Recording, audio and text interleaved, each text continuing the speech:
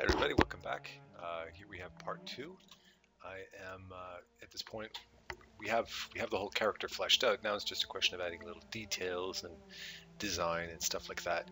Um, and you know, if you've watched the um, the demons tutorial, um, I spoke a lot about the type of graphic line, the type of graphic uh, design elements that I bring into it. In his particular case, um, he's a very different character he, as far as his personality. He's a gentle, pensive, uh, healing character, right? Because um, Mirwan's idea was to either do something more of a war type character or a healer, and I like the healer idea for Treants because it's kind of how I, I always associate him with that, having that kind of a personality.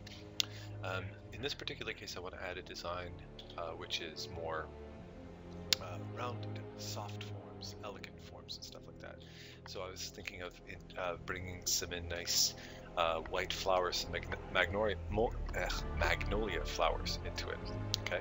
You'll also notice if you just look closely, notice that I reversed his antennas. I realized I put them in the wrong place. I made them put them like whiskers, you know, like in the Indiana Jones film. You know, you're digging in the wrong place. Well, I was painting in the wrong place. So uh, that's got to get fixed. So here, I'm going to delete the last version. This is my butterfly over here.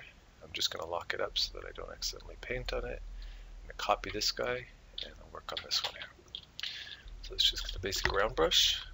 I'm using the same basic round brush for the entire piece.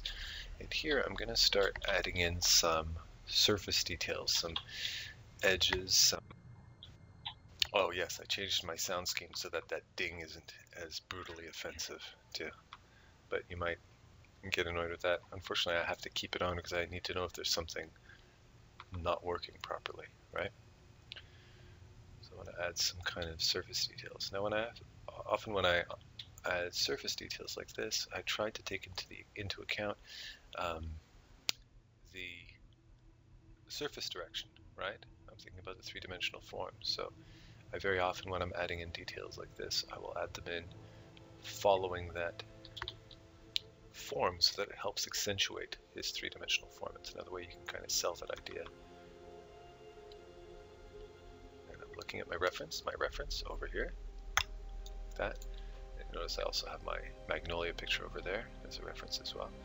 Just to have it there whenever I feel like I'm kind of struggling to find some kind of a ideas for shapes or you know I'm feeling that something isn't quite looking right I glance over it sometimes I don't even like the whole last part of the video I wasn't even looking over. And at this point this is very relaxed. On my forum on the demons forum uh, one of the viewers was asking how do you keep your enthusiasm up when you're working on a piece of artwork for a long time? And my answer to him was, well, at least the way it works for me, something that I find uh, is very often the case, is um, it uh, how you keep up your enthusiasm, how you keep your energy up and work on a piece of artwork for a long time. Like a lot of people were asking me about King's Harem. I remember uh, I was speaking with Tyler Edlin and um, people were, I, I, was asking him at one point, I was like, you know, he had spent three weeks working on an environment design. I was like, I remember saying, how do you keep your energy up for something like that. That's pretty hardcore stuff, you know. Uh, especially when you look at the the level of detail that he puts into his work as well, into his environment pieces.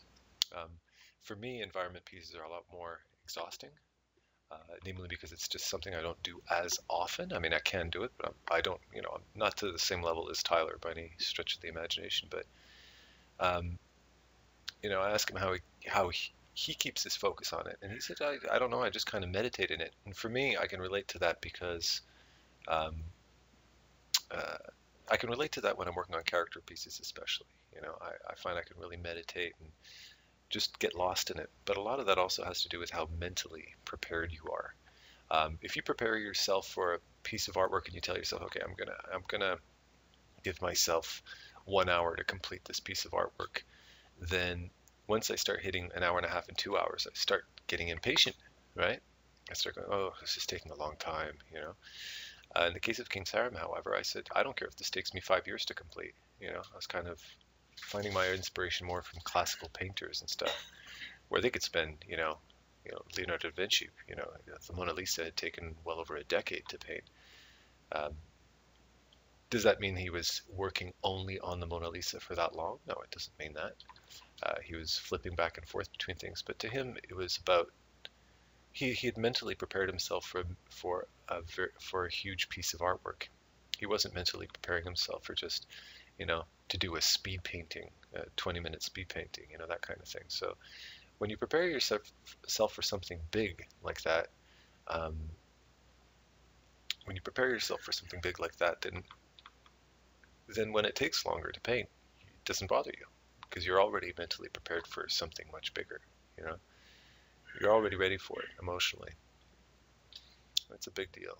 You know? And the other question he asked was, uh, what else was he asking? Um, you actually have it right here next to me. Oh yeah, just the frustration uh, when you're getting frustrated with a piece of artwork. Uh, you get frustrated and it's not working the way you want it to, and you just say, ah, screw it. I just, you know, I can't do this. I'm, I suck. I'm no good. Which, by the way, every single artist on earth gets that, feels that regularly. I feel that most often when I'm not entirely confident that I'm going in the right direction with a piece of artwork. You know, when I'm, um, when I'm kind of feel like I'm putting more energy into repairing or salvaging a piece of artwork rather than um, rather than just adding detail. And the trick I have for that is actually something I remember hearing. Uh, somebody had really uh, kind of answered that question to a certain degree really well. Was an artist I really like, uh, Marco Bucci, uh, B-U-C-C-I. He's on. Uh, he's got his own YouTube channel and stuff. It's also linked in. If you check out the uh, um, the, the, tutorial forums or any of the the actual uh, video pages for any of the series, you'll notice that I just updated it today to have all the interviews. It's before it was still set to all of the, uh, not the interviews, but actual tutorials, because originally it was set to interviews. And Marco Bucci's on that list. You can go and check him out. I really like him. You know, he's a really good artist, and uh, he was talking about how he kind of, you could see, kind of take the lazy approach with art, where you kind of, you you just have a very non-committal attitude. You're very much like, you know, you're you kind of have this attitude where, you know, you could throw it out if you want to. It's not a big deal. You know, you're focused and you're concentrated, but you're keeping your imagination and you're keeping the, the pressure level down. You're not sitting there going, "Oh, I gotta get this right. I gotta get this right. I gotta get this right. It's gonna, it's gotta look perfect." If you have that attitude, that stress level is gonna, in my opinion, at least in my work, I find it overpowers my imagination, and I really just want to think loosely. And to me, uh, one of the big turning points as far as you know, how I approached my own artwork and how my artwork affected me emotionally was um, when I started treating painting more like sculpting rather than painting. If you treat it more like sculpting, then a sculptor doesn't just slap a glob of paint on the on you know on the table, uh, uh slap a glob of cl uh, clay on the table and expect it to be a perfect sculpture. They mold it into what they want, right?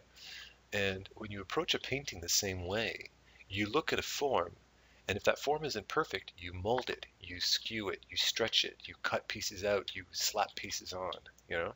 Exactly the same way I did with this guy, with, uh, with the Treant character.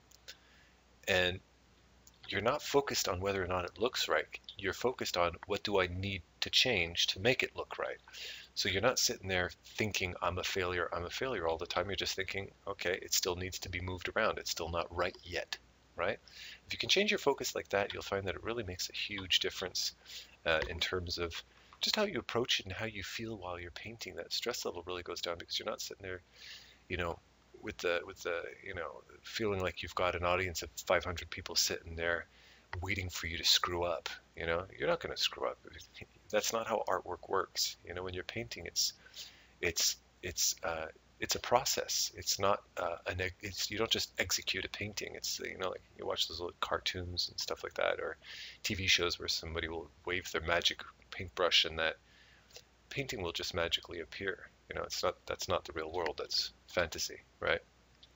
as an artist, I, I really encourage you if you find you run into that kind of a stumble, you know, if you kind of run into that frustration when you find yourself looking at your work saying, oh, this sucks, this looks like crap, stop treating it like a painting. Start treating it more like a sculpture that just needs to be molded into something better, you know?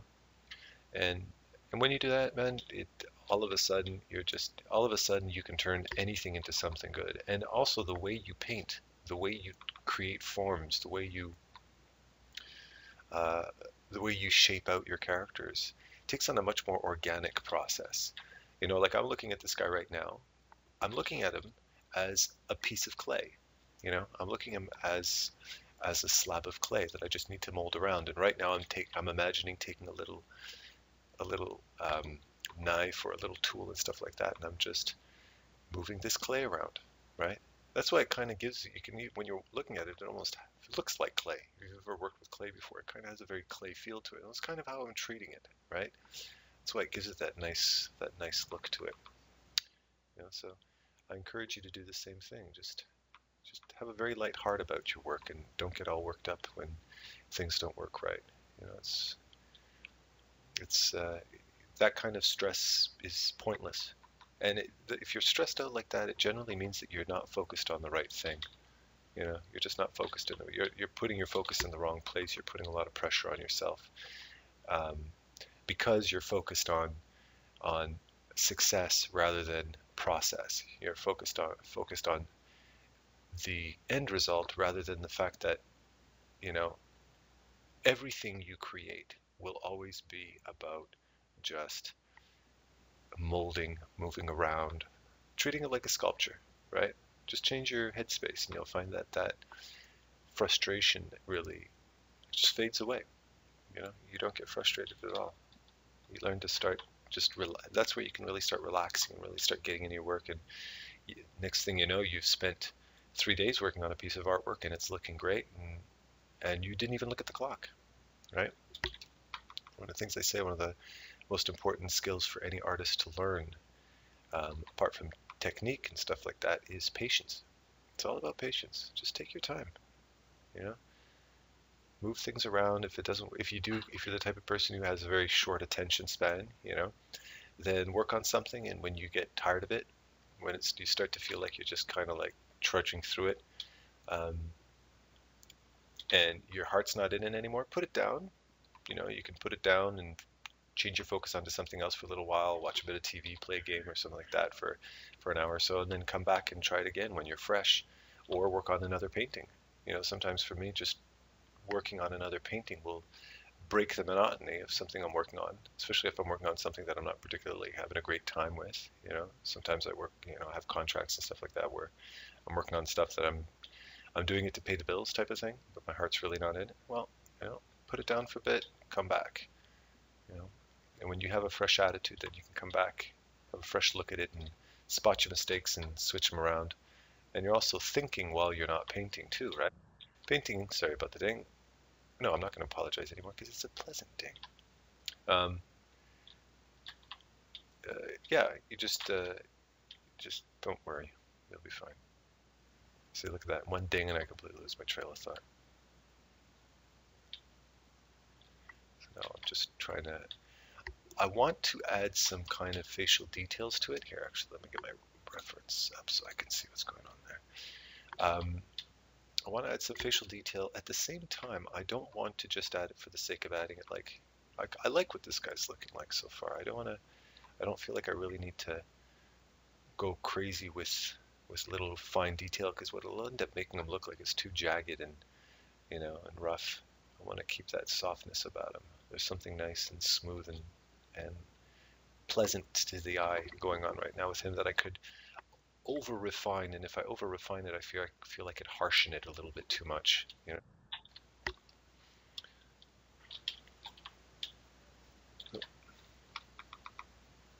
That's why I'm just noodling around very gently, just adding a few little things here and there, just for the sake of refinement. See, I'm not going to do the close-up test like this either generally speaking, you're only going to see the character about like that, right? So the details that I'm adding need to be clear enough so that they can be seen from about this size. That's what it's going to look like on my gallery. If this was for a poster or something like that, then I would have to really come in close and add some really sharp detail. Hmm. Something across his eye. bit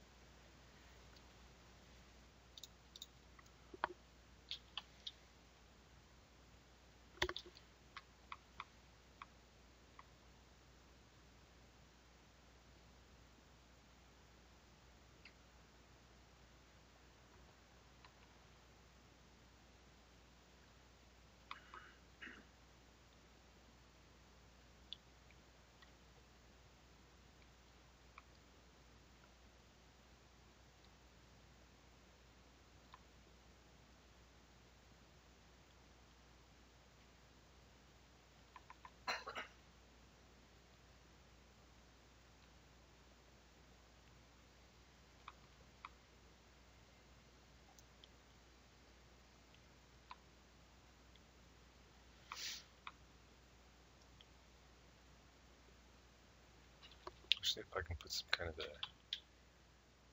etching into him or some crack or something like that. I'm not totally sure if this is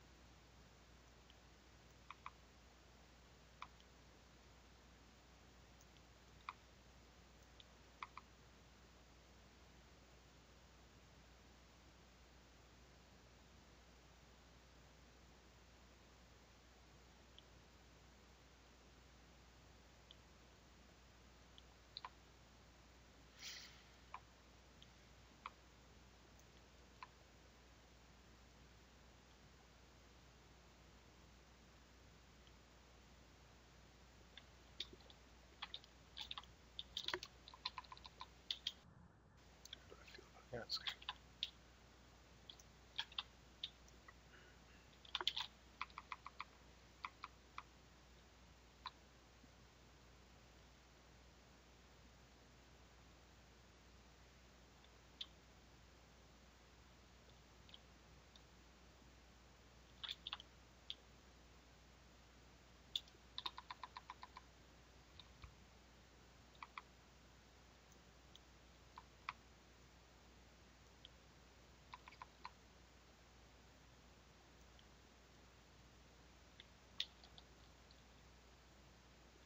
Just be careful not to change his expression too much because I like his expression. It's a sweetness, and if I go too crazy with detail, then I can, I can kind of break that, and I don't want to do that.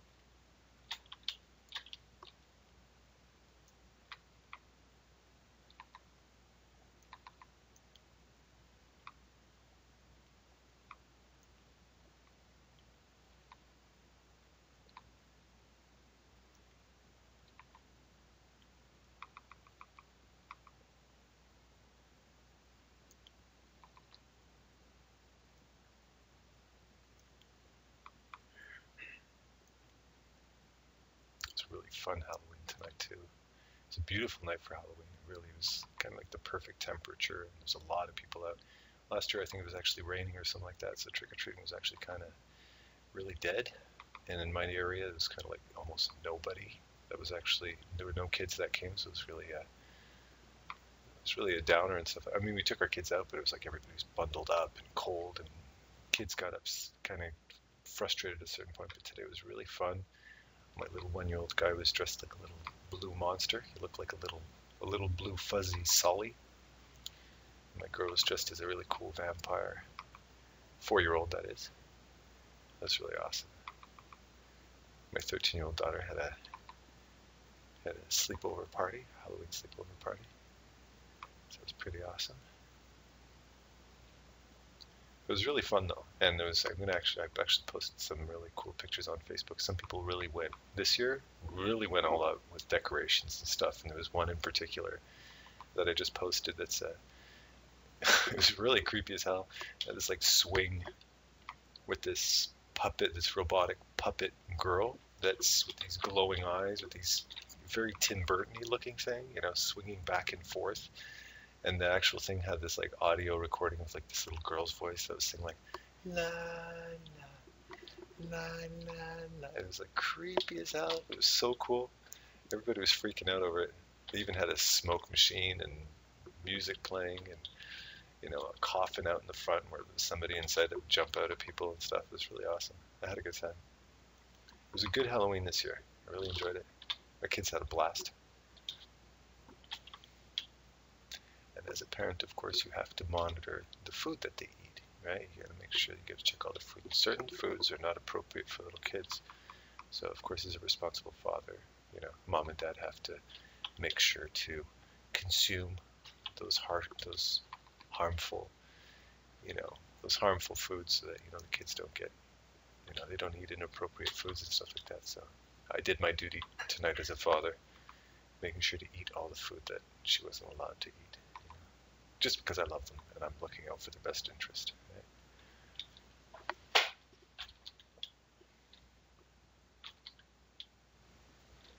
Now, I'm just going to jump down to this hand here because it's been bugging me. I haven't really put any work into this.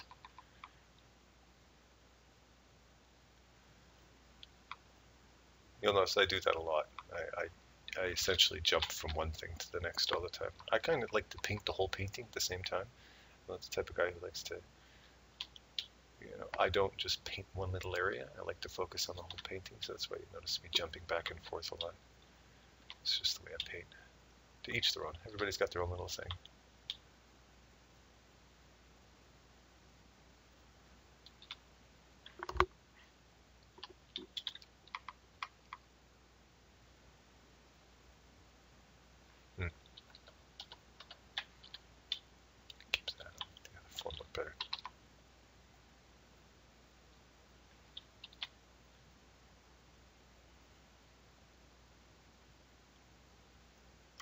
It looks a little bit almost like dinosaur claws or something like that. I'm gonna have to. I don't want to create forms like that too much. A little bit is fine, you know. I mean, he doesn't look like a main character or anything like that, but still, just I want to be conscious of creating forms design-wise. Like the actual graphic lines that I'm using are, are aren't frightening or sinister in any which way. I want to create a very friendly, approachable character. But I mean, you can still have a little bit of dark in there, just to give them a little bit of a quirkiness, make them make them look interesting.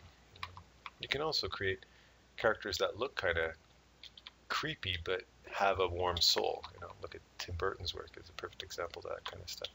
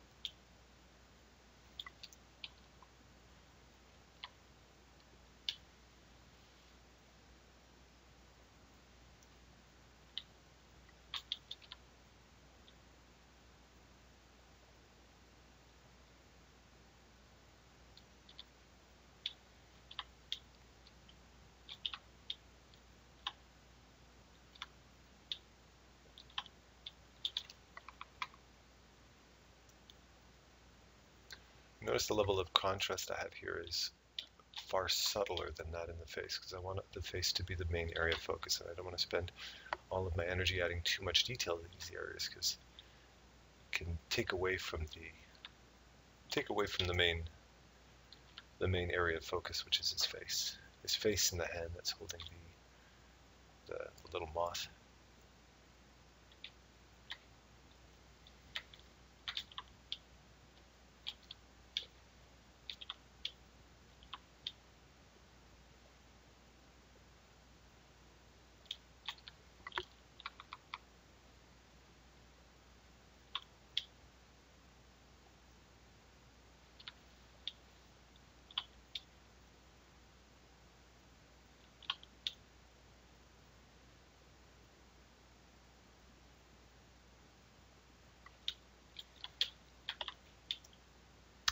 another thing to mention regarding, uh, uh, you know, like just keeping your, your enthusiasm up and your and working in a way that's uh, sorry about that, um, working in a way that's less uh, stressful. Is I try to establish what this painting is going to be in the first five minutes, you know, uh, and work very loosely.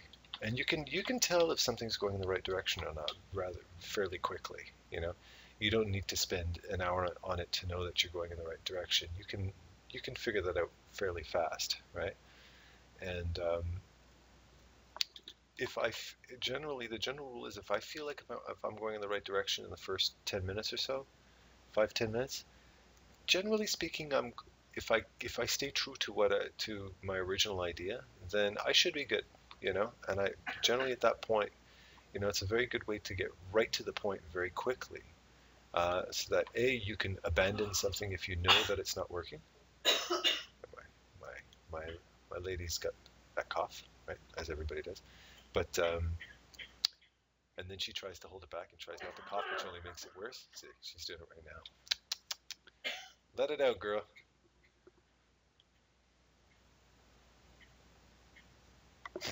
She's desperately trying not to cough out loud. You're very sweet, Jen, but you don't have to do that. Let him rip. Well, no, don't let it rip. That's that's the wrong expression. There you go.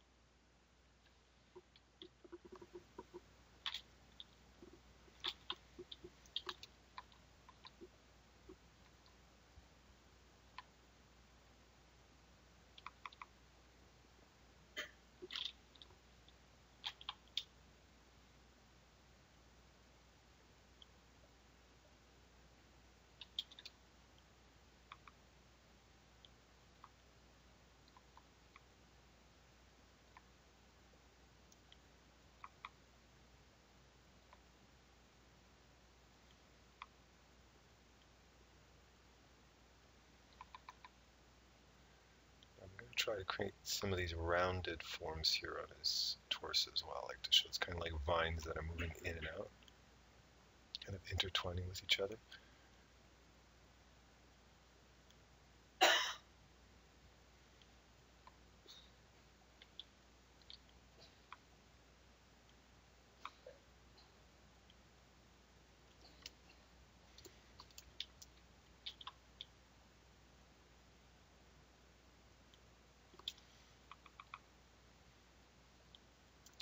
By the way, you, you probably noticed this is one of the first videos that I posted up on my uh, on my forum that is painted in real time, right?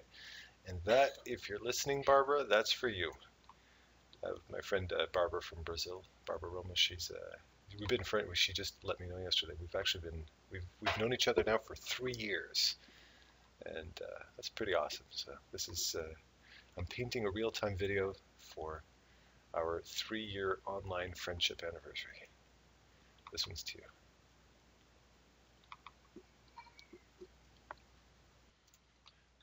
Now I think I'm going to uh, push and pull a few values around. I was watching, uh, I had mentioned in the last video that Tyler had, uh, Tyler, Edlin, Tyler Edlin had uh, uh, mentioned to me, he said, you got to go check out, uh, no, not this, you got to go check out Anthony Jones's interview on Level Up I was like, yeah, yeah, yeah, sure, I'll go check it out. I hadn't seen his work in a long time, and I really loved it. I love what he's doing now. It's beautiful stuff.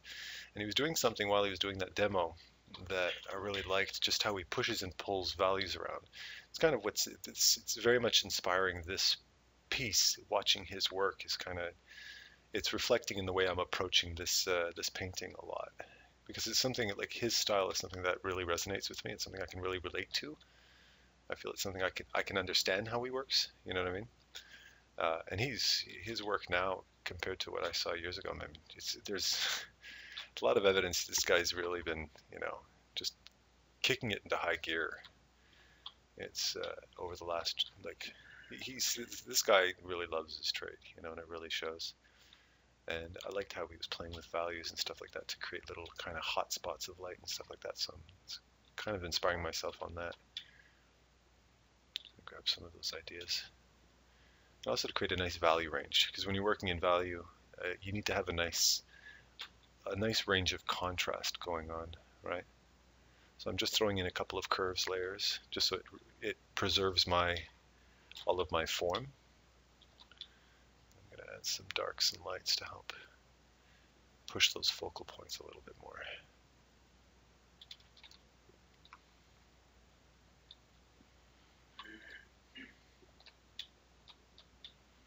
Yeah, definitely needed that.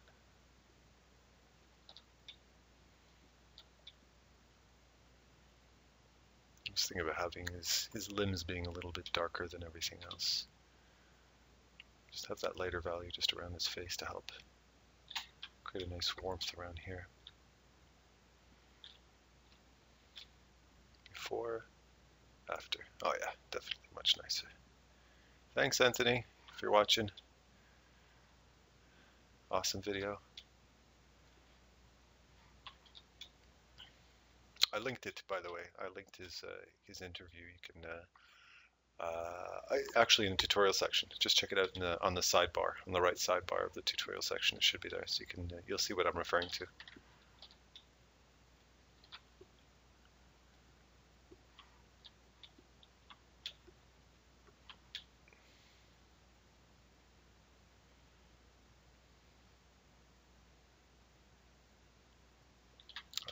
That depth So See, I'm, I'm looking at the values here, but I'm also comparing it to the values of these branches in the background, so I don't want it to compete, because that'll start messing around with the depth a little bit.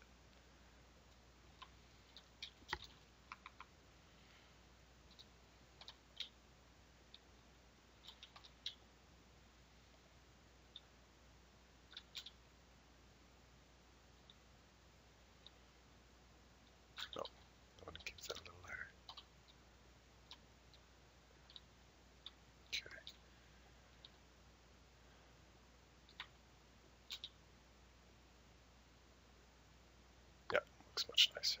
There you go. I'll just flatten that in. I like the way that looks. Alright. Let's work on some more details here now. I'm going to use a brush. This brush has shape dynamics.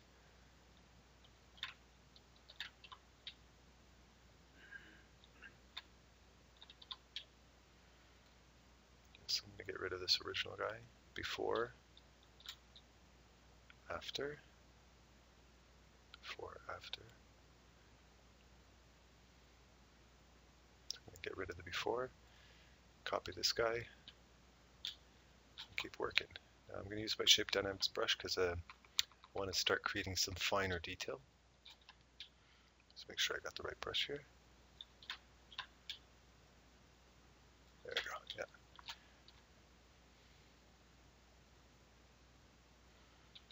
Looks good.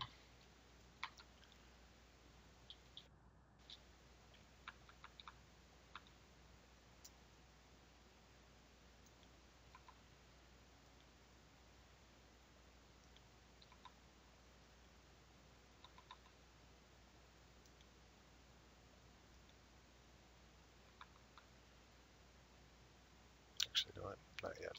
Let me establish these fine shapes first before I start bringing in the fine brush.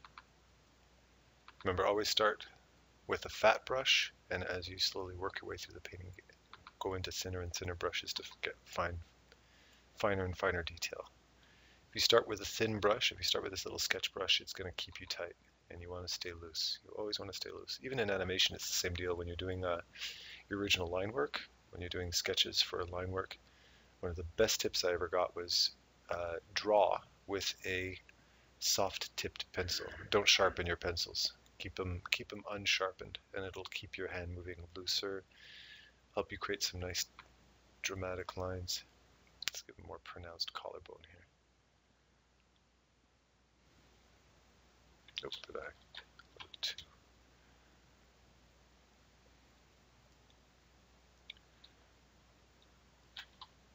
Let's pronounce a little bit more of that collarbone here.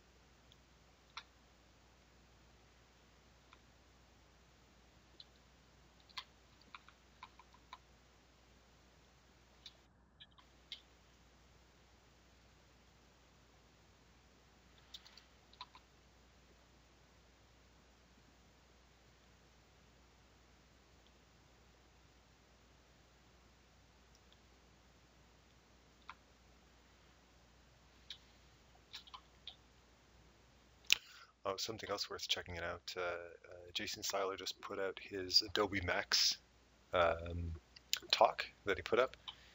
Really cool too. Really worth checking out. I like him too. He's a very for the for the, the incredible talent this guy's got. He's really humble. You know, he's a, he's a really down to. You can tell he's a really down to earth guy. You can tell he's the type of guy. If you saw him at a Comic Con or something like that, he'd be uh, he'd be really sociable. You know, I don't see him as being some kind of a elitist or douchebag or anything like that. He's got a cool attitude.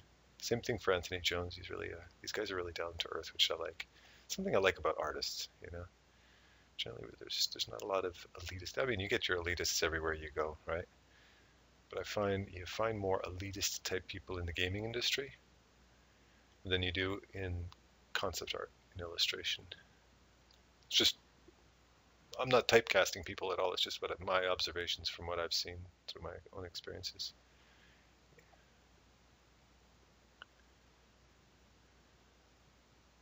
One of the things, one of my big pet peeves I'm always telling people about, especially being a teacher, right, is the type of people that, you know, that have a tendency to start sentences with, with, uh, start sentences with, with things like, like I said, blah blah blah blah blah. I hate people who say that. It pisses me off.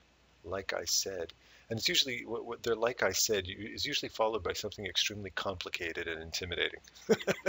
you know, like oh yeah, uh, how do I log on to the uh, server here? And it's like your first day there. You know.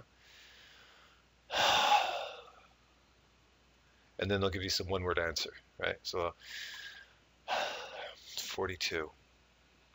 And of course, that doesn't answer your question. So you're like, oh, um, 42 what? And then they roll their eyes. Then they give you the big side. Okay, um, all right. You have to log on to the Xvox server and enter 42 into the uh, domain 23xxb, as you should know, right? That's very straightforward stuff. And you're sitting there going, okay, I'm not following anything you're saying right now, you know? You know, no matter what you say, they'll always try to make you feel stupid for asking. I'm very anti that type of thing.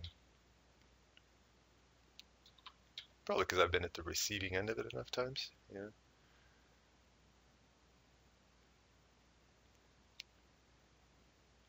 Especially when you have kids, you know, and you have little kids. It, one of the things I love about about just being a father, one of the people very often ask me, you know, how do you work like this all the time, and how you have three kids and everything like that? And my answer to them is they're a part of it. You know, they're they're in on the game with me. They're a part of my artwork. They're a big inspiration in what I get from parenthood. You know, just being learning the patience of you know, you know, taking care of kids and and teaching them patiently and understanding that you know everything that they're learning, they're learning for the first time and stuff like that. So just have a cool attitude about that, and all of that really translates into artwork quite a bit. One of the movies I love is uh, The Last Samurai. One of the things I loved about it, one something I really walked away with from that film was um, um, where they're describing how. What's up, sweetie? Ah, good night. Uh, my lady's going to bed. Um, describing how uh, how the samurai, everything in the samurai's life revolves around the art of war, right? From how they cook to how they love to their relationships to, you know, to to how they farm to just every daily ritual they have is all wrapped around their their tradecraft, and that so completely applies to artwork as well. You know, being an artist isn't just about sitting down and being able to paint pretty pictures. It's about living it, constantly having your eyes open. I remember um, uh, in the making of Roger Rabbit, uh, Richard Williams, the the lead animator, the director for Roger Rabbit, uh, also the guy who wrote the Animator Survival Kit. If you're in animation, you know this guy well. You know he's he's he's uh, he's out there, right? And he was he was talking about just being an animator. And one of the things he said also resonated with me. He said like he said cartoonists and animators are like children in the sense that they never lose their ability to observe. You know, as an artist, you always ha- you're constantly you always have your eyes open in wonder at the world around you. And the more you learn, like when you learn about color and you learn about value, every time you learn a new thing, all of a sudden you walk outside and the whole, you're just sitting there nerding out over just earth. You know, you're walking down through the city, and you know, I live in Montreal and stuff like that. And you know, you spend your whole life looking at concrete, going, "Oh God, more concrete." But when you start to see color, all of a sudden, car- concrete becomes exciting a dirty laneway becomes a work of art, you know, and that kind of stuff always resonated with me. It really is part of every day of your life. You're you're always an artist. Everything you do is, is as an artist, and, and simply observing the world around you is a huge part of your learning process, right? It's a huge part of your learning process. You're um, you're observing the world around you. You're you're building that visual library that everybody talks about so much. You know, everybody that's that seems to be the the catchphrase in today's day and age. It's that visual library thing. Well, it's true. You're you're you're constantly sucking in and absorbing information around you and visuals around you, and whether or not you remember everything in photographic detail, you are keeping yourself in that artistic headspace. So when you sit down at your when you sit down at your computer, you sit down in front of your canvas, you're far more, you know, in tune to that type of lifestyle. I like, I'm a big believer in the law of attraction, right? When you want something bad enough, you'll make it happen, right? And there's no better example of the law of attraction than kids, than young kids. You know, young kids are taught to settle down, calm down. You know, like Seinfeld says, you know, when you're young, you you know, when you're young, it's everything is up. When you're an adult, everything is down. You know, you want to grow up. You know, you want to sit up. You want to look up. When you're an adult, it's settle down, calm down. You know. and it's it's like that you know with kids when they want something they'll fight for it you know my my four year old daughter or my one year old son or my 13 year old in any case you know when they want something they'll they'll badger you they don't they're willing to piss you off. They're willing to get on your nerves and repeat something 25 times until they get it. But you know what? A good 40% of the time, they get it. Dad buckles every now and then, and he lets them have what they want, you know? You know within reason, of course. But, uh, you know what I mean? And I respect that in kids. And that's something that for me as a parent and as an artist, you know, I I don't try to you know, control their behavior and their desires too much. I don't want them to cross that line of politeness, you know.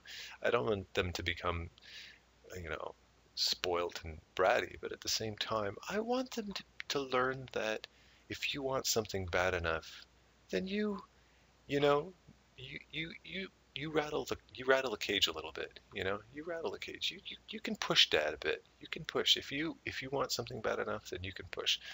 You know, if it's something that's not good for you, that's a different story. But you know what I mean? You don't want to. I personally don't feel you want to suppress that quality too much. You have to handle. That's something that I really find I have to handle very carefully with my kids. I want I want my my girls to grow up with you know with a sense of strength and integrity and you know and and that that knowledge that if you push hard enough you'll get what you want. You know, I respect that in kids. And adults I find could use a little bit more of that. And very often, you know, you look at people who, who are huge successes, a perfect example, somebody who who's inspired so many people in this world, Steve Jobs, right? He's that type of guy. I see him as a guy who kind of didn't completely grow up. you know what I mean? He has a bit of that child, childlike, you know, I won't take no for an answer. I don't care if I piss you off. Gimme, gimme, gimme type of attitude. And there's something in there to be admired. There's something to learn from that. You know, if you're too gentle and too courteous to people, you know, when it comes to your real goals and desires, stuff that, you know, stuff that you know is really going to make a difference for your life, you know what? Piss people off once in a while. You know, call that director back one too many times. Don't panic and think, oh, well, I just, I just called, you know, two days ago. I, I don't want to be too pushy. Don't be too pushy, you know. You don't want to go on. You don't want to be blacklisted by somebody, but at the same time, you know what? Let people know that, that this is important to you. I really believe that. Anytime I've really given a little extra push in something, it came around eventually. You know, it always came around. That's something that I that I I try not to adhere. I, I try not to adhere to to being over oversensitive to other people's sensitivity levels.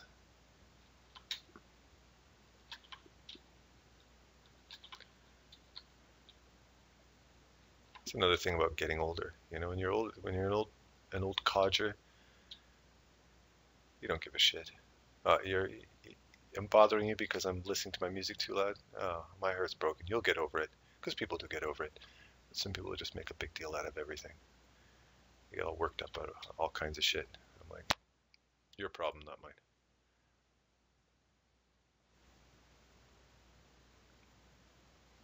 Yeah, it's starting to come together, isn't it? This is fun. I'm having a lot of fun working on this it's cool too. Um, I you know it's brand new form and stuff like that. So you know it's it's like a school. Starting a new project is like going to a school dance. At the beginning, everybody, all the girls are sitting on one side of the of the gym, and all the boys are sitting at the other side of the gym, and nobody wants to be that first to get up. And then one person, one brave soul, gets up and walks across, does the walk of shame, you know and reaches out to a girl and says, Would you like to dance? And she says, Okay. And they dance together. And they do that very awkward hands on hips, hands on shoulders box step with a three foot gap between them, you know, looking back and forth, trying desperately not to make eye contact with the person in front of them. And then as soon as they do that, then everybody else jumps in, you know. And you know, this forum, this this whole project that I'm working on is a perfect example of that. This is uh, this was me just saying, hey, I've got it. I've got a really, you know, an idea I'm really passionate about. I really want to get out there and, and offer something cool. I want to be a part of the growth of this really amazing industry that we work in. And I said, let's take it to the next step, man. Let's go. Let's give it a shot. You know, what do I got to lose? Worst case scenario, it falls. I fall on my face and and I'm devastated, and my wife leaves me, and my children call me a loser oh God, what did I get myself into? No, seriously, the, the worst case scenario is, you know, it doesn't kick off, I learn something in ter- I learn what does not work and I try again. And, and after about 20 years, I develop the re- reputation of that person who just never got it. That he had so much potential guy.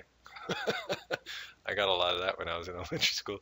He has a lot, Adam has a lot of potential if he applies himself more you he might grow up to be a world famous mathematician.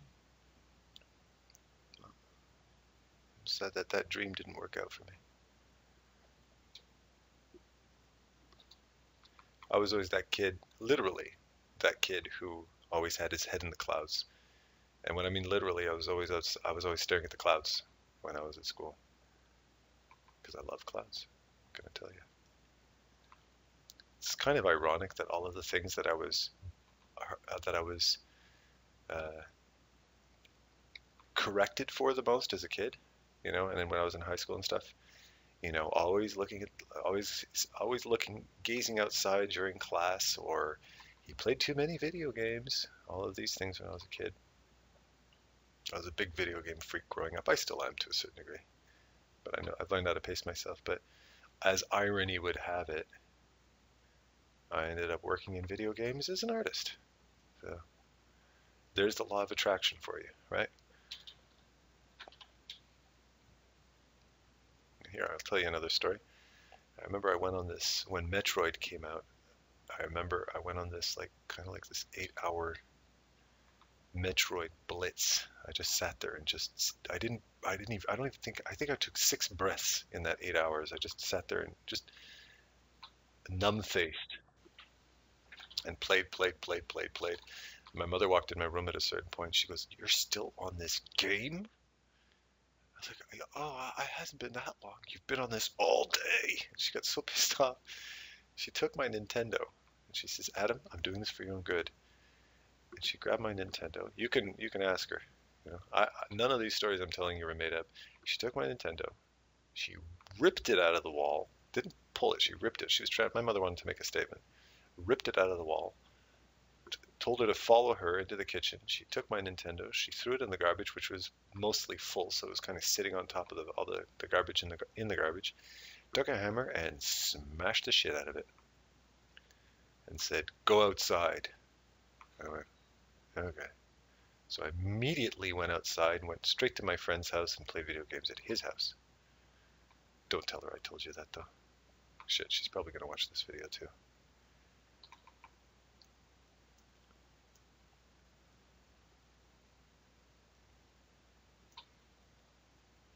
Yeah, but my mom smashed the shit out of my Nintendo. And to be honest with you, I wasn't even mad at her. I was kind of sitting there, kind of like, you know what? You're doing the right thing. I'm way too hooked on this thing. I can honestly say that that same exact addiction exists in 85% of anybody who works in the video game industry. I mean, it's just relentless video game playing. It's crazy stuff. That's why it's one of the things that kind of turned me off of playing too hard and just being that type of kid was witnessing other people do it a lot worse than I was. And it's kind of like uh, somebody who has any kind of a, an addictive problem. They're, I'm fine, I'm fine, I don't have, I'm not addicted, I'm not addicted. And then they look and they see somebody who's who's pretty much just as bad off as they are. And all of a sudden it dawns on them, holy shit, that's what I look like. You know, that's the life I'm living. Yeesh. And it kind of hits home when you see that. And that was kind of a turning point for me.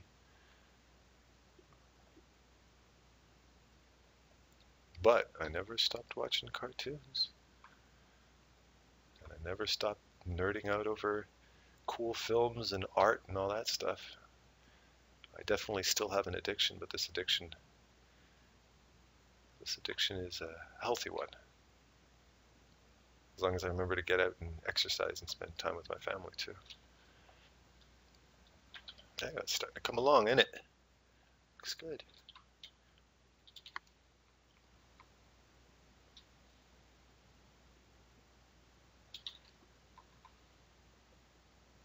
You see, at this point, it's just really just noodling around. This is fun for me. This is there's I'm not stressed out. I'm just sitting here chatting with you and just adding details where details need be.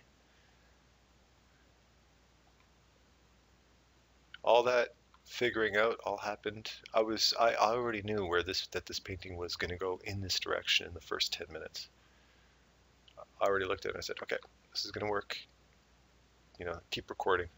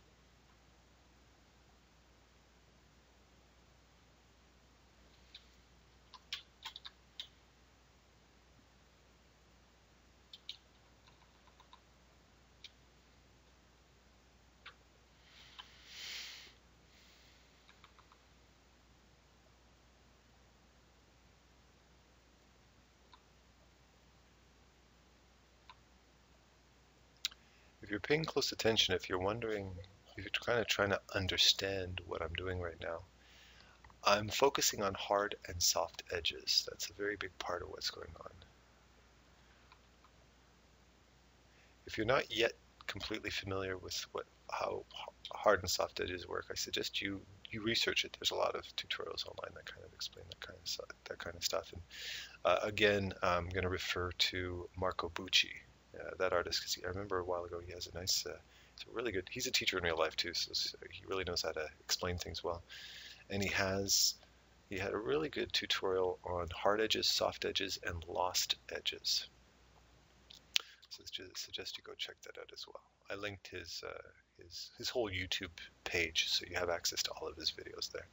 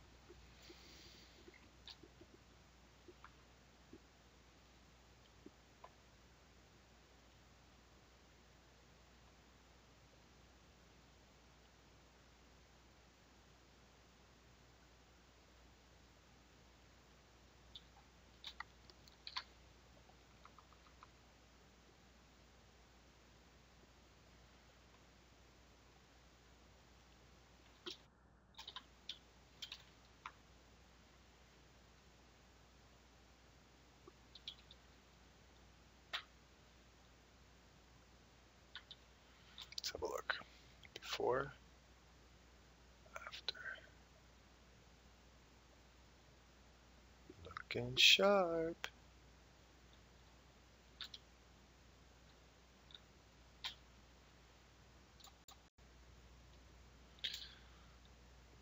All right, a little bit more value in there.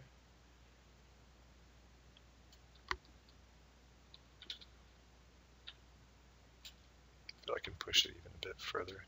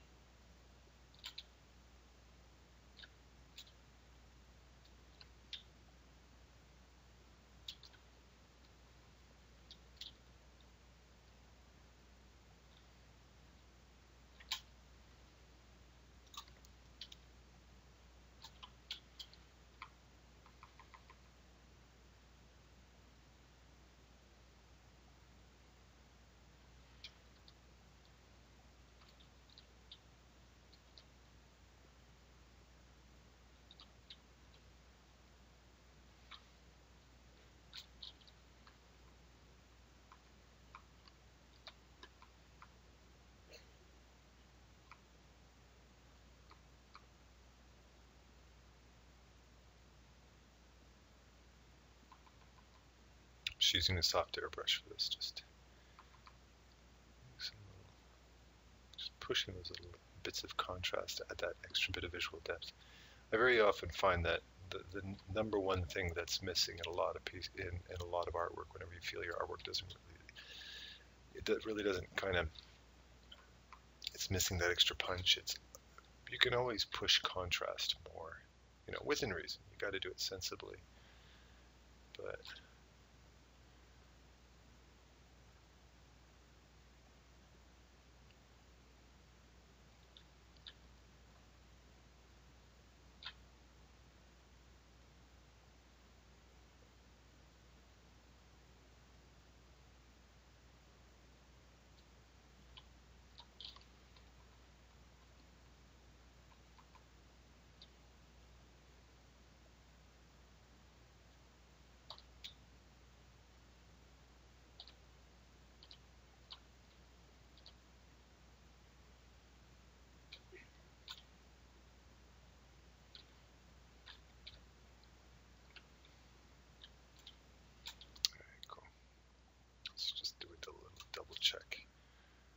Before, after. Actually, no, I think that might be a bit too dark. Take that down about 50%.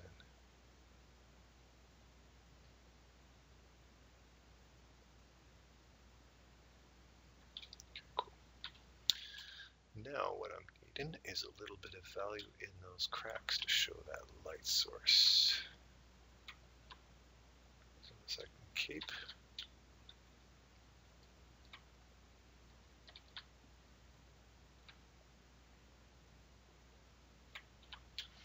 here I'm going to get my little fine brush and I'm going to, just to bring out those little pools of light in corners.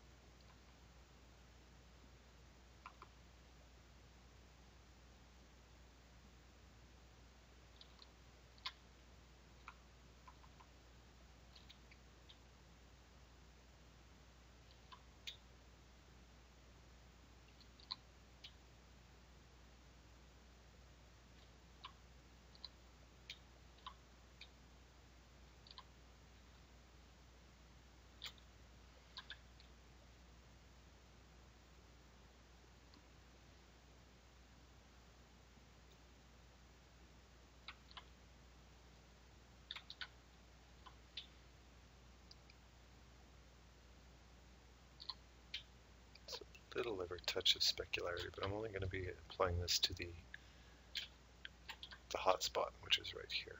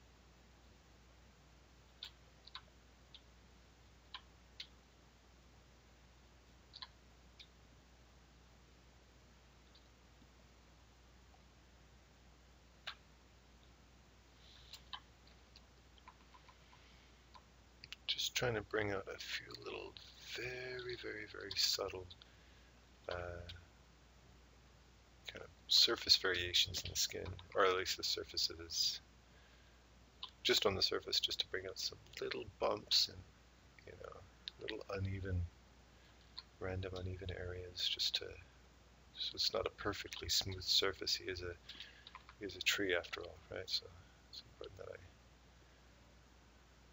catch a little bit of a little bit of surface variation.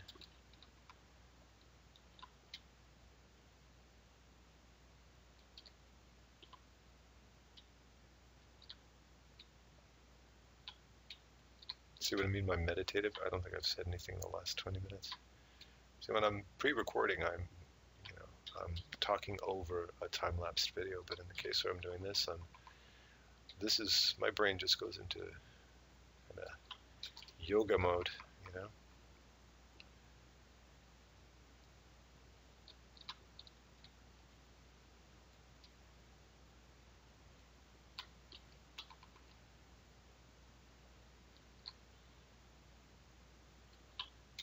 comes to kind of reminds me I haven't done yoga in a long time.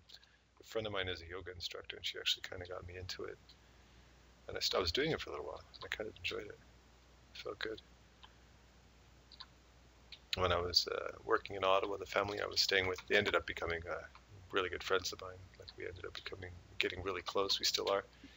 And uh, the woman I'm, I was staying with, the, the mother, who owned the uh, horse ranch, which is a pretty awesome place to to spend your days. I might add, really enjoyed it there. And uh, her daughter was into yoga and stuff like that, and got her mother and her other sister into yoga. And so one day they dragged my sorry ass down to the yoga thing, and I, I did uh, hot yoga for the first time.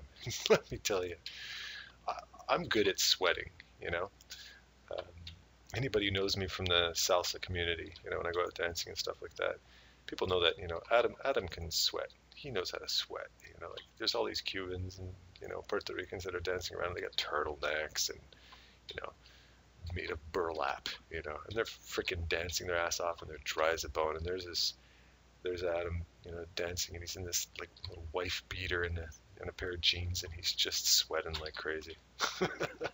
yeah. So like, imagine me in hot yoga.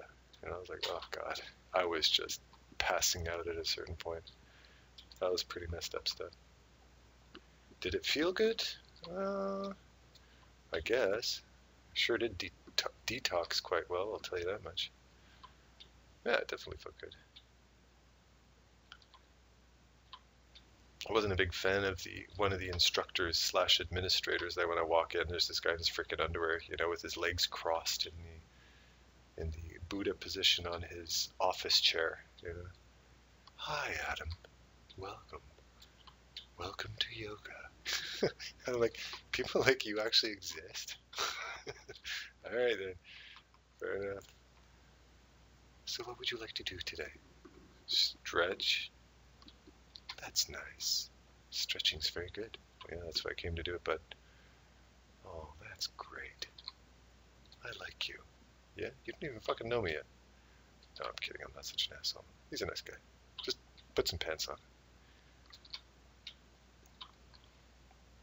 trying to make eye contact with another guy when he's sitting there, leg, legs crossed, you know, on a chair in a pair of little tighties. And you don't know the guy? Good luck. It's not that easy. Of course, that would also explain there were a lot more girls at yoga than the guys. And some of the some of the people you can tell, like the pros, the, those those yoga girls that you know they've been doing it for they've been doing it for like you know for five years and like super super nimble and like they'll do, they do a side stretch you know? And then somebody turns to me and says you have to stretch to the side. I said i am stretching to the side. I look in the mirror i'm like standing perfectly straight you know? And there's a girl in front of me i remember there's this one girl who's doing she's doing the stretch kind of like the show off of the class. There's always a show off you know? The one who always brings the apple to the teacher type of thing yeah and I swear to God, her body was bent sideways at a perfect 90 degree angle. I was like, okay, that shit's just creepy, man. She's gonna hurt herself if she keeps that shit up. Know, that's just that's just wrong. And there I am, you know, like Brian Regan, stand-up comedian Brian Regan. You'll, I hope you're starting to realize at this point that I watch a lot of stand-up comedy. One of my favorite stand-up comedians is Brian Regan, and he does this whole thing where you know he goes to the gym for the first time. Yeah, he's talking about going to yoga class. Okay, now take your take your leg, take your foot, and throw it around your neck like a scarf, and breathe. He's like, I'm not breathing. yeah, that's kind of how I felt when I was doing hot yoga. Yeah. I'm not the most flexible guy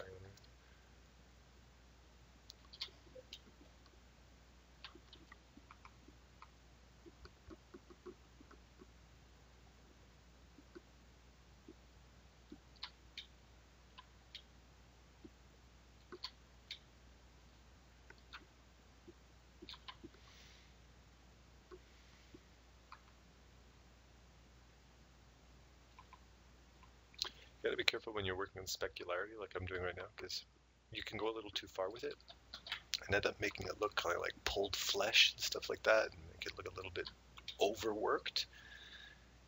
You know, pushing and pulling highlights and shadows is, is an act of subtlety. You, know, you work very gently and subtly. You don't you don't go crazy with it. You add it where it need be. You try to stay a little bit loose with it. You don't get too tight with it.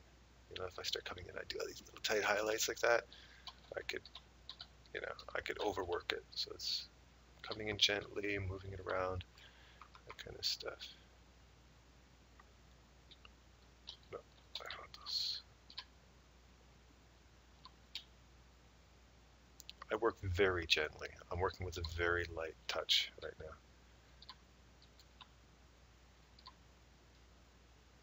I even set my hardness up. You know, like the default setting for hardness is set in the middle like uh, halfway between hard and soft, and I usually I bump it up one notch, like the middle plus one, just so I have that little extra bit of gentleness with my brush stroke.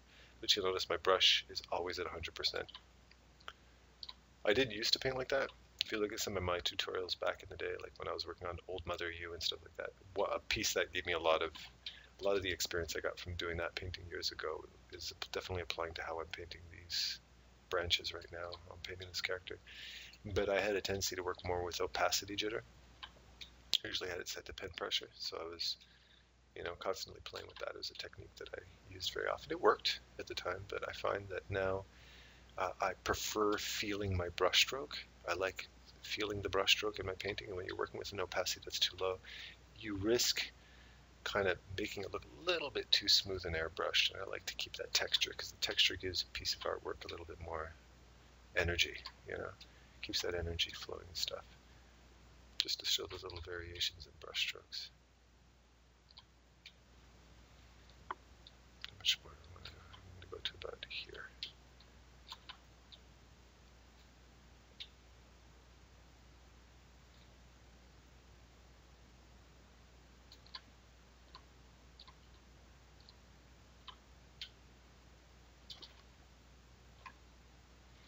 So I'm kind of pulling it in, tucking it in like that a little bit.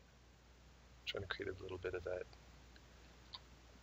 pull feeling where the bark is pulling in. But if I went any more specular than this, I would start turning this into skin. I'm almost flirting a little too close to this, to skin with, with what I'm doing right now in terms of specularity. So I'm really being very careful to play it down. If need be. You know, if I did push it too hard, I could always just take the specularity down a little bit like that. But, but it's okay. I'll keep going with one because it's getting that little bit of contrast and it's helping it pop from the whites in the background. Without it, we'll see that it kind of creates a bit too much of a gray silhouette and you lose a bit of that information just by adding that bit of highlight. I'm actually bringing out that, that surface information nicely, the three-dimensional form.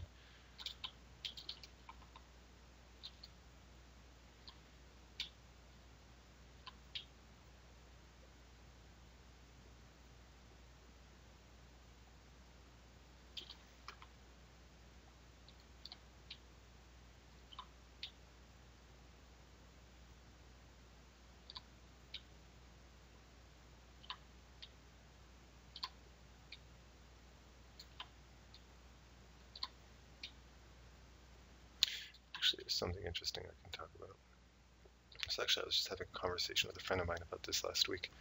Uh, she was asking, she was saying to me, you know, you make a, you know, I talk about, you know, I very often teaching my students and stuff like that uh, about, you know, making a living as an artist and, you know, and, and learning how to, um, you know, learning how to market yourself and all of that stuff, all of these different things, and blah blah blah, right? And one of my students said to me, it was a very smart question too. She kind of hit me, and it's good timing with this question. She said, "You do a lot of free stuff online. I notice. You know, you do a lot of free stuff. You're, it's kind of like you're giving away. A lot of people have a lot of people who who teach and you know do stuff online. Most people you see who who are online are generally very generous with their time and stuff like that. But you know, people ask me, well, Adam, you're a teacher and you're trying to make a living out of teaching and all of this stuff, but you're kind of giving away all your secrets online. Like what I'm doing right now, like I'm essentially I'm watching you, you're watching me paint, right? And I'm explaining my process, and you're like, but Adam, you're giving away your secrets. This is isn't this, this how you want to make a living? You know, if you give it away for free, then who's going to want to buy it? And that's actually a, it's it's a bit of a paranoia that a lot of people have. I find it's a kind of fear that a lot of people have. Um, if you've ever taught before, the first thing you learn is that there are no two artists that work the same way. I have taught hundreds and hundreds of students, you know, from every imaginable level, artistic skill level, and everything like that. I've taught hundreds of people, and no two artists have ever been the same, regardless of how many tutorials people have watched of mine or of others. You know, because I'm, I'm one of many out, artists out there that share their work online. You know. Um, when it comes to teaching, you know, you can learn the fundamentals anywhere. You know, the fundamentals of painting you can learn absolutely anywhere. That's that's that's kind of a default, and it, that that information is available.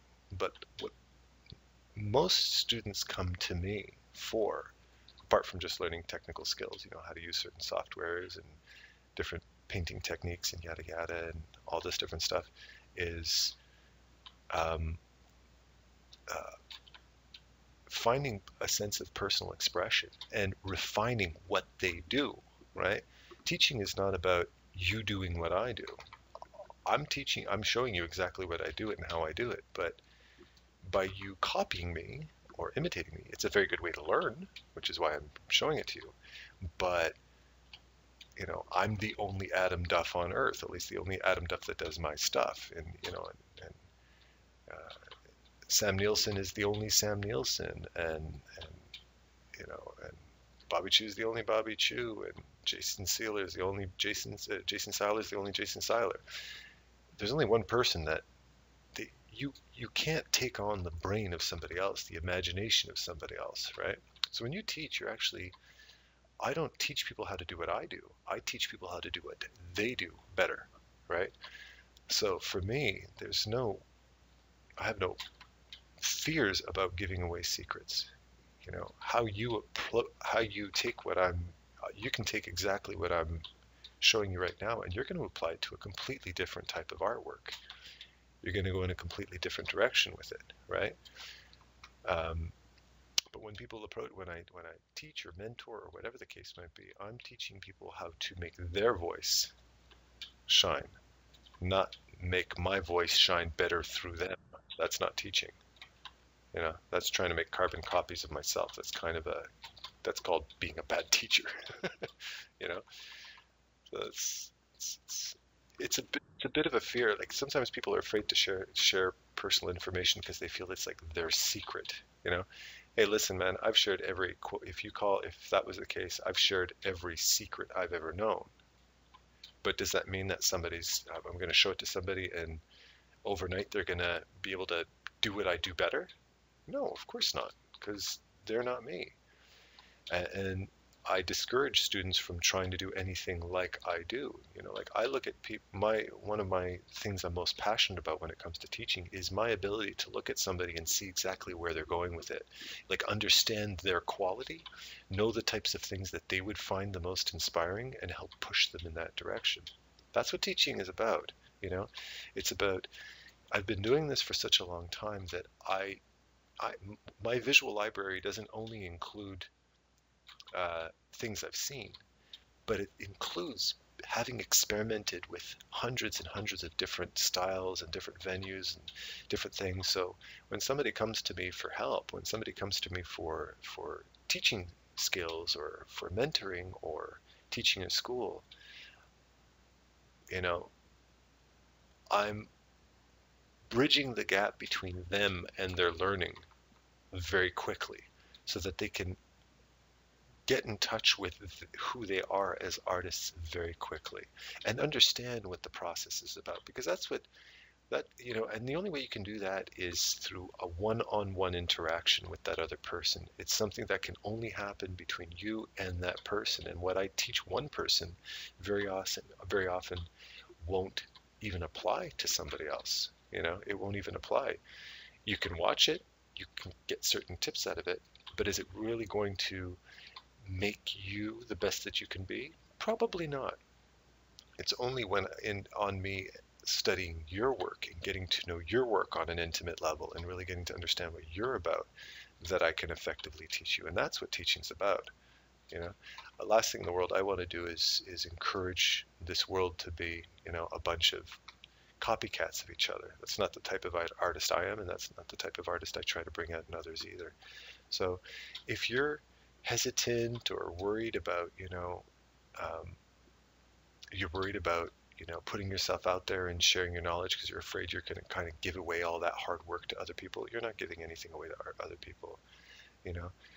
Um, but one thing I would say is it's important to distinguish the difference between um, distinguish the difference between being a good artist and being a good teacher because those two those are two different things. You know not everybody who's a great artist can necessarily teach very well. Because teaching takes is, is a is a specific skill right? I'm just going to add a little bit of highlight here because i want to balance it around. I don't want to just have everything here and have everything out flat so i'm just adding an, another second layer of hotspot in there.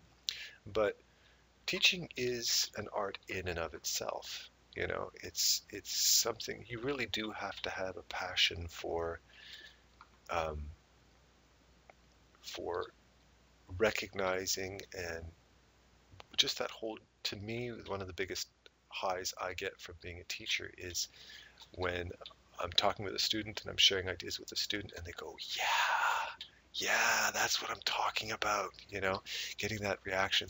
I love that reaction from students. It's like, yeah, that's exactly that's I've been struggling with that so much. You totally nailed it, you know. And when I when I know I've hit a nerve, and I know that I've kind of like I might have said something or tapped onto something that answers a question that might have been mulling around in their head for like years. I'm like, yeah, that's what I'm talking about. Because I know as an artist myself that there's certain things that I, understand what we struggle through. I understand the things that we all kind of try to hide. And deke around and and fence around with for years and years and years. And, and just to to me the learning process is is learning process is you work you work you work and you might feel like nothing's happening nothing's happening nothing's happening. And then all of a sudden you go click and it clicks. And when it clicks it's not just one little thing that clicks and you make that little baby step forward.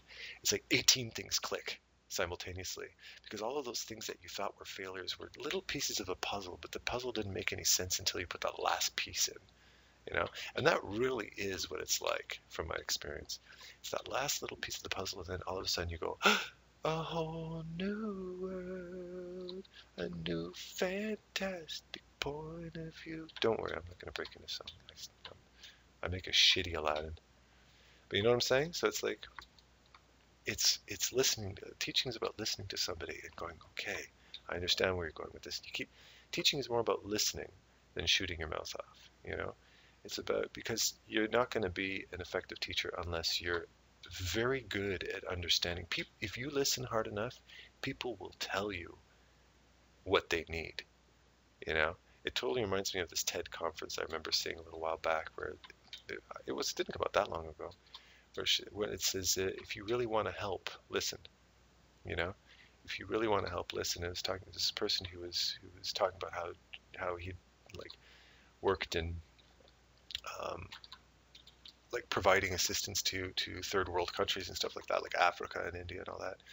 And Because a lot of people in Western culture believe that kind of have this belief that you know we'll come in and we'll save you, we'll teach you how things are, how, how things, how to make things better by doing things like we do, and that doesn't what what works for you in your culture might not necessarily work in in another. You know, if you listen to them, they'll tell you what they've been living this. You know, artists have been living this. They've been living their struggle. They know exactly what they need. They just might not might not know where to find that key to solve it, right? And as a good teacher, you take all of that experience you have, but you keep your mouth shut about it, you know, and you listen and you listen and you listen, and then they then they give you that keyword and they say they say this, and you go, I got it I know what it is. And then you go, check this out. And you show it to them and you go, that's it. And all of that. And at that point, man, you know, it's like, you know, and you've been working, you know, imagine playing video games and you've been spending like six months trying to get this piece of armor and then you get it and like you just completely have a, you know, like a nerd fit. You freak out and start screaming, oh my God, oh my God. Like you just won a million dollars in the lottery. That's that kind of reaction you get from students too. It's pretty awesome. And it's like, they just, they just reach that next echelon. It's always a super awesome feeling. But that's what teaching is about. It's like for me, sitting here showing you how to paint. What I'm doing is I'm talking to you. You're, I'm, I'm keeping your mind fresh. I'm showing you a different perspective. I'm, you know, you're watching how much attention I, I focus on quality and rendering and how I do little tips and tricks. Oh, he does this with the lighting. He's doing this with the shading and, and shapes and blah, blah, blah. I know what you're watching when you're looking at my paintings. I know what you're focused on, you know. Um, that's why I don't always have to explain everything. You know, I could talk about other things while I'm teaching stuff, you know. Sometimes the philosophy is a little bit more beneficial than me explaining what you're already freaking looking at, right? Do I want to add too many highlights there? I think I need to take that down a little bit. You know what I mean? Um, but that's why I that's why I talk you through certain things because I know what you're looking for in this painting. I know what you're, you're there's certain things that you're kind of you're watching this and you're saying, ah, I, I, there's certain things. Uh, how does he do this or why is he doing that and everything like that. So those are the things I like to those are the things I like to walk you through a little bit. Does that help in the hurting? I'm not sure.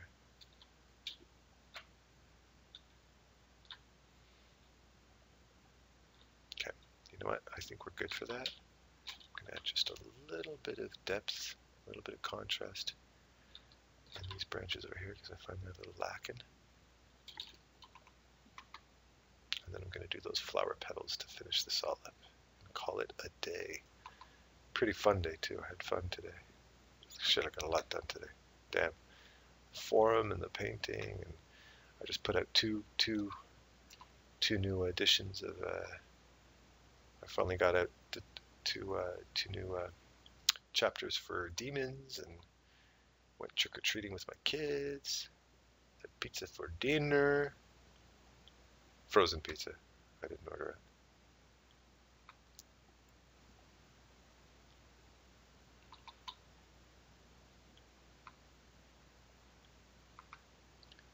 It's been a good day, man. I'm really, I'm stoked.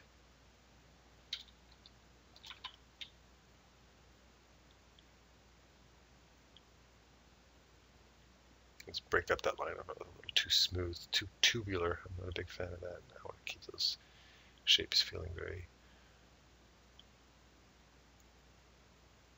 very loose and organic.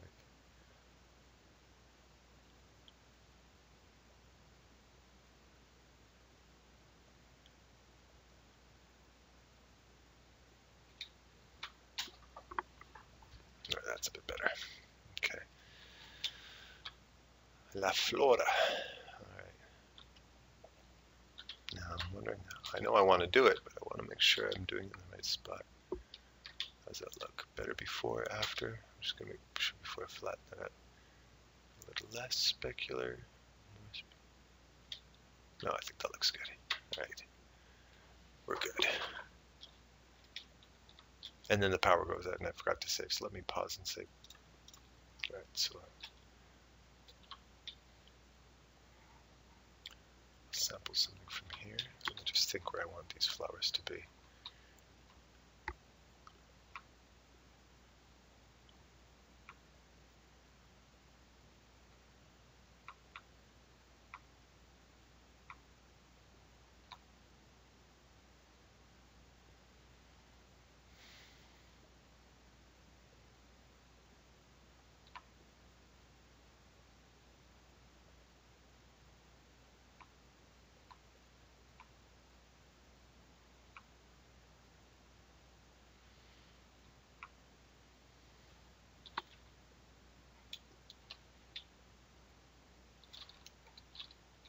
Oh dear.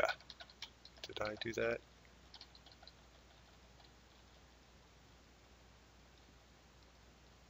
Thank goodness.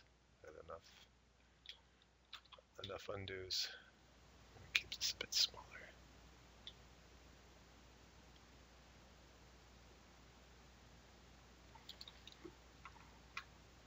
That little random petal that sticks out, little, you know, when you're doing hair, have those little loose hairs sticking out will always give it a little bit more credible. Same thing applies to when you're doing any kind of you know, plants and stuff like that. Anything natural, grass or flowers, just have a little petal or two that are going off in a random direction can help really sell it. You want to keep it this perfect little geometric form. I'm wondering if those are the type of flowers I want. I want those petals to be a little bit more. I can just lasso to it.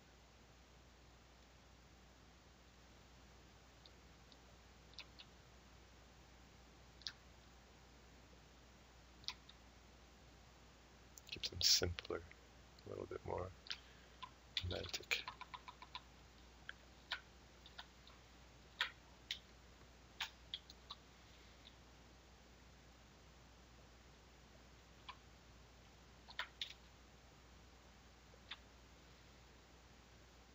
Mm-hmm. Okay. I can play with it.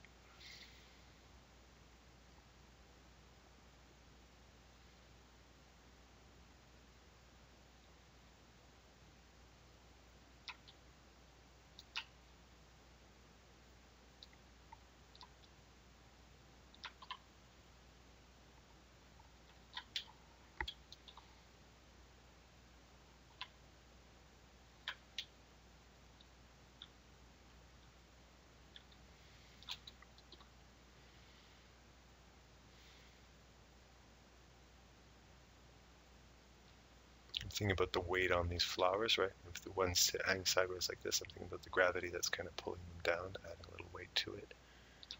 It's important.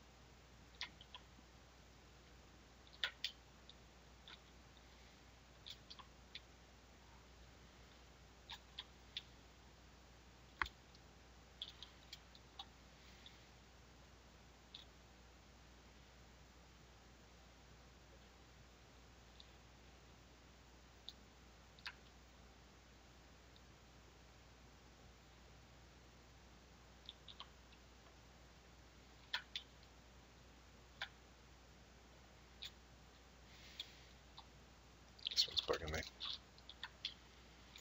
keep it a little lighter, not so not so crammed.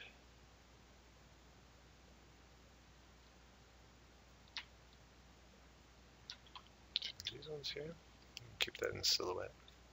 That'd be nicer.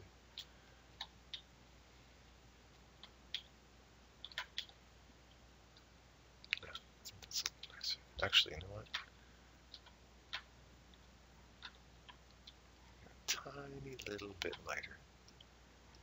So just to suggest that they're, they're not quite as opaque as the uh, as the branch it's sitting on.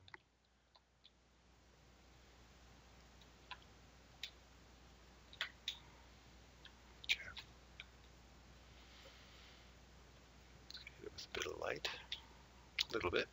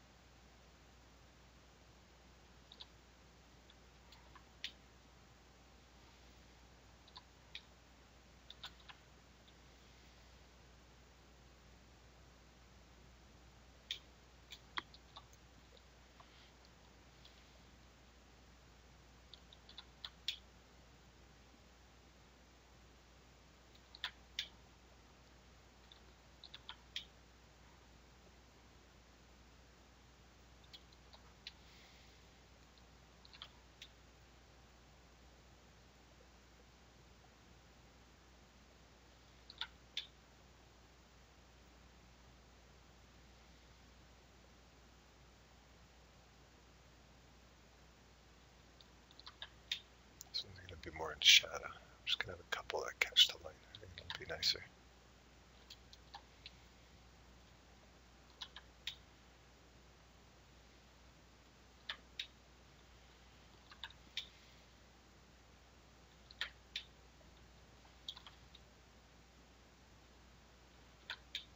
So it's just partially in shadow.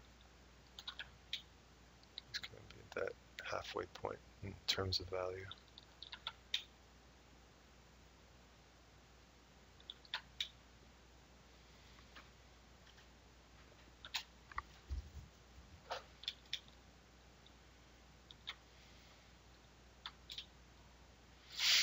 Now, are these flowers helping or hurting? Let's see. Let's look at the big picture here. Hmm.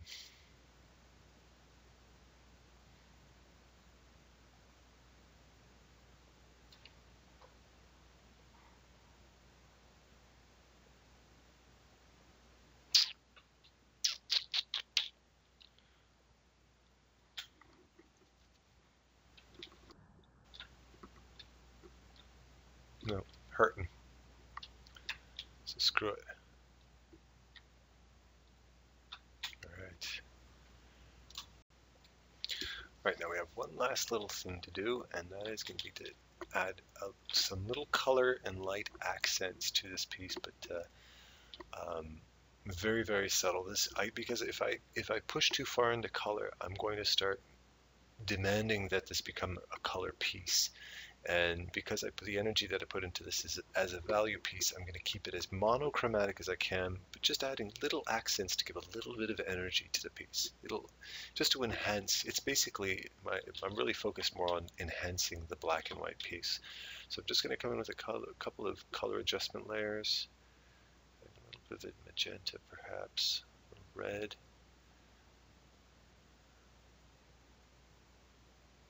That.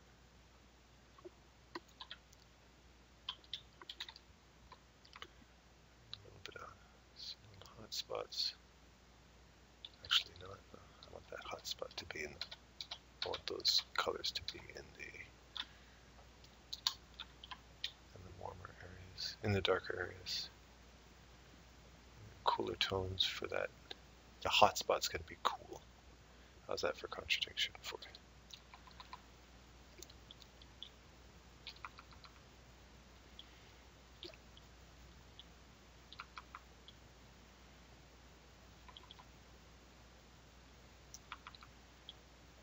I'm doing it loosely though. I'm not like sticking strict to exactly what they're. I'm just kind of going with the way it feels. Get, you know, adding a little, taking a little away.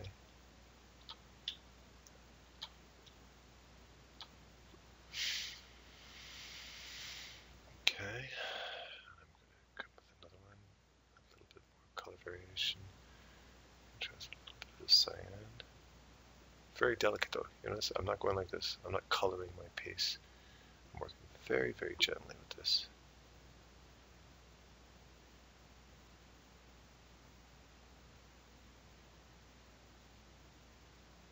So subtle that variation is.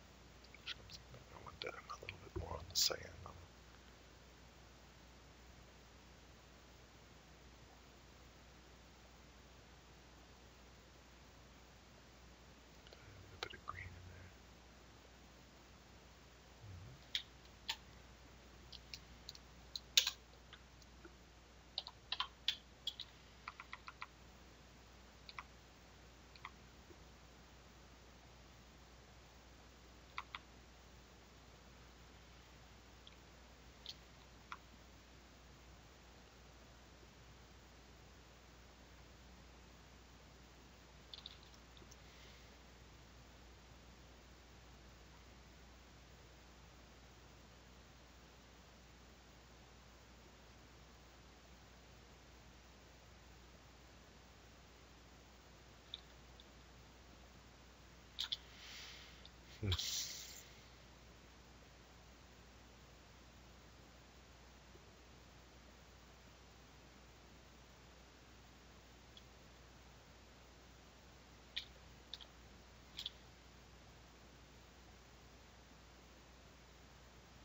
I'm really trying very carefully just to give that little little bit of color harmony to give it a little vibration of color while really truly respecting the fact that this is a grayscale painting.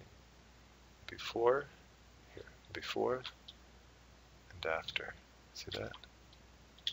Just getting a little bit of flavor. That's it. Let's see if I can throw in a little bit. Some kind of a light.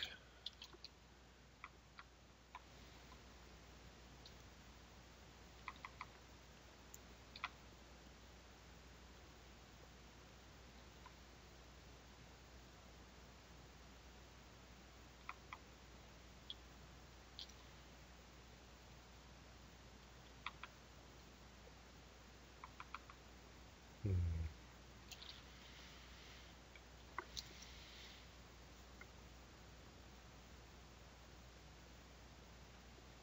No, it's color.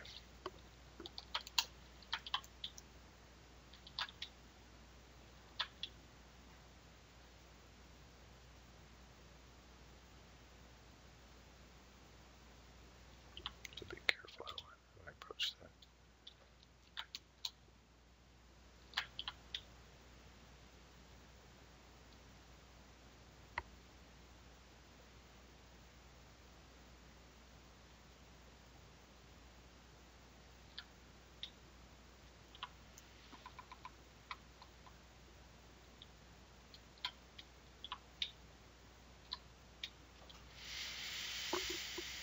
Hmm. There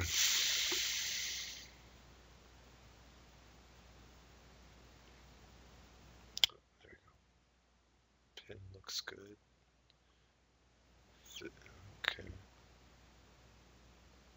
I think pin light might be, know, go a little greener, bluer with it because my light, I want my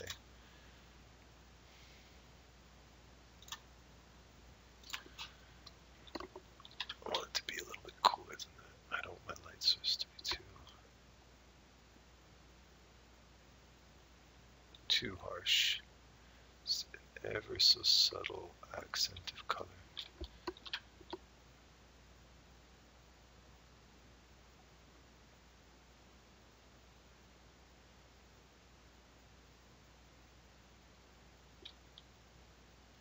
Hmm.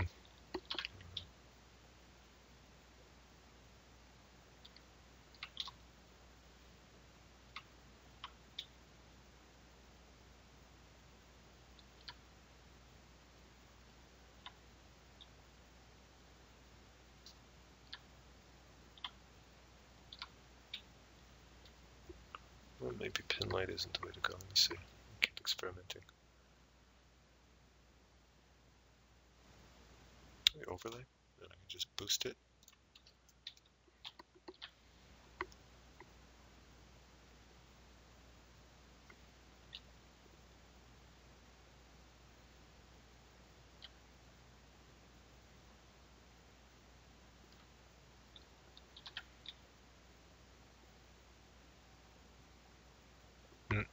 It's not doing it. Just worried that I'm hiding some important detail here.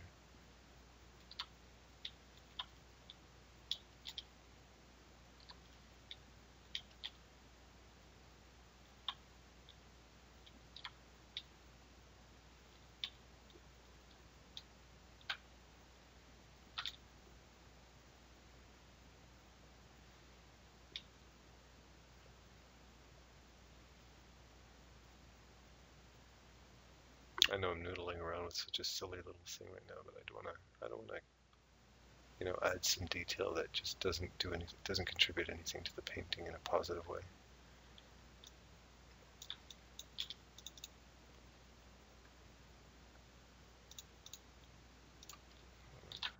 Maybe.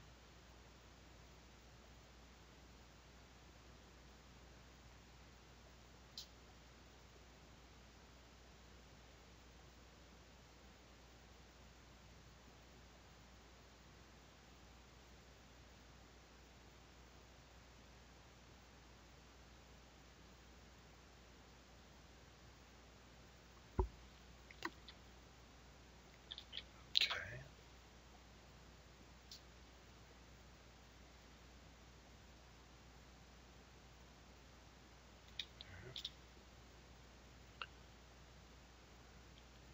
Contrast color balance layer. Just a little splash, a little more splash of color here. I keep thinking of aliens for some reason. I like the concept art for aliens when I look at this. It has that kind of feel to it a bit. It's just that the whole way I'm going about painting this. I don't always paint like this. As you know, of course, I'm sure you've seen my work before. just apply it everywhere.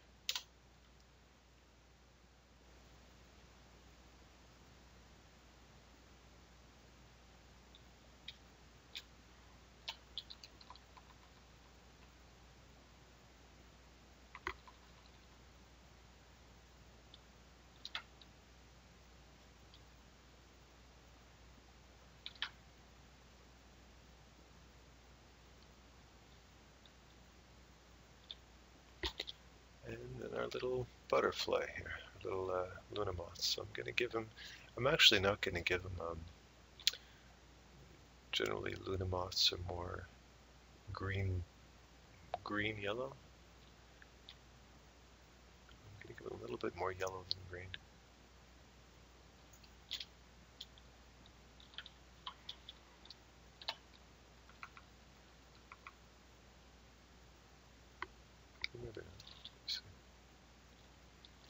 Want it to harmonize with the rest of the piece.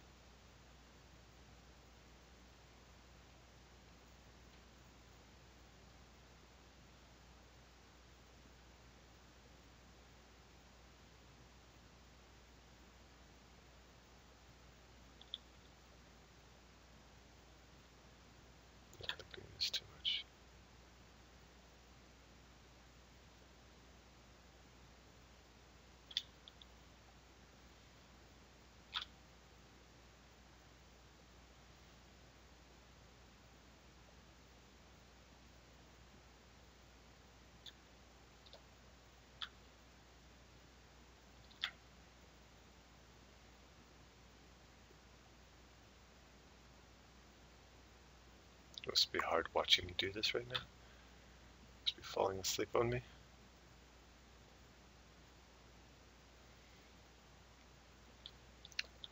It's just a very, very subtle accent. Alright.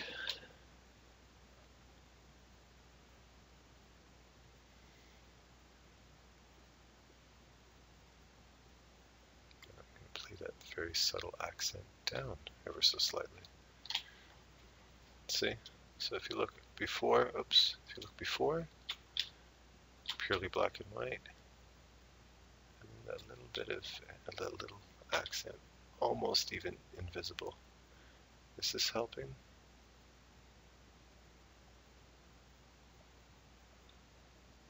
No. Fuck it. All right. So there you go. We're done. So thanks for watching. Uh, it was a lot of fun. Again, uh, thank you hugely uh, to Mirwan for, for this awesome suggestion. Uh, of course, and if you have any other suggestions, uh, feel free to throw them in the forum. Um, you can either, I'm going to be creating a new section for this tutorial, which is going to be uh, forum suggestions, essentially. It's not going to be in the same section as demons, you just you can access it from the main tutorial page. And there you can feel free to comment on this particular piece, ask questions on it, or offer suggestions for newer pieces. I'm always checking out the forum, so I'll, I'll, I'll definitely uh, see it if you post it. All right. So thanks everybody for watching. Uh, remember, if you haven't already, you can subscribe to my mailing list.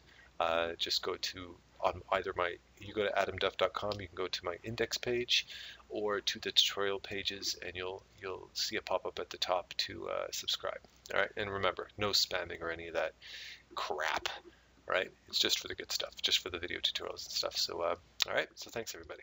Take care.